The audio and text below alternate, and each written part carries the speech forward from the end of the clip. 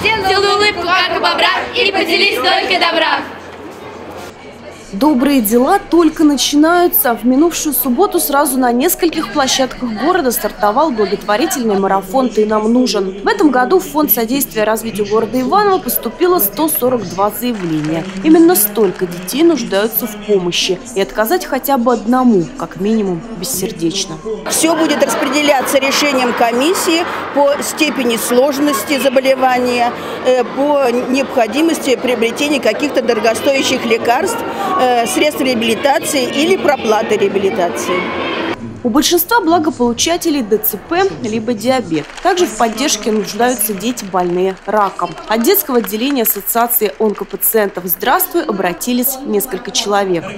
Помощь детям нужна на обследование, которое не входит в рамки ОМС, э, на лекарственное обеспечение, э, на дорогостоящие анализы МРТ, КТ, э, гистология, то, что не оплачивается в рамках МС, э, детки обратились за помощью это получить.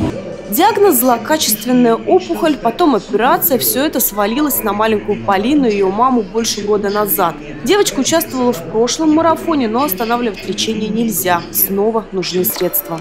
Каждые 2-3 месяца нам нужно находиться на обследовании в Москве, поскольку нам еще даже не выставили как бы, что мы не вошли еще в стадию ремиссии, мы еще находимся как бы на лечении. И поэтому нам необходимо проживание, проезд и оплата вот э, этих анализов, которые не входят в полис. Марафон продлится ровно неделю, и все семьи, которые обратились за помощью, верят, что добро наконец-таки не обойдет их стороной. Пожертвовать средства можно любым удобным способом.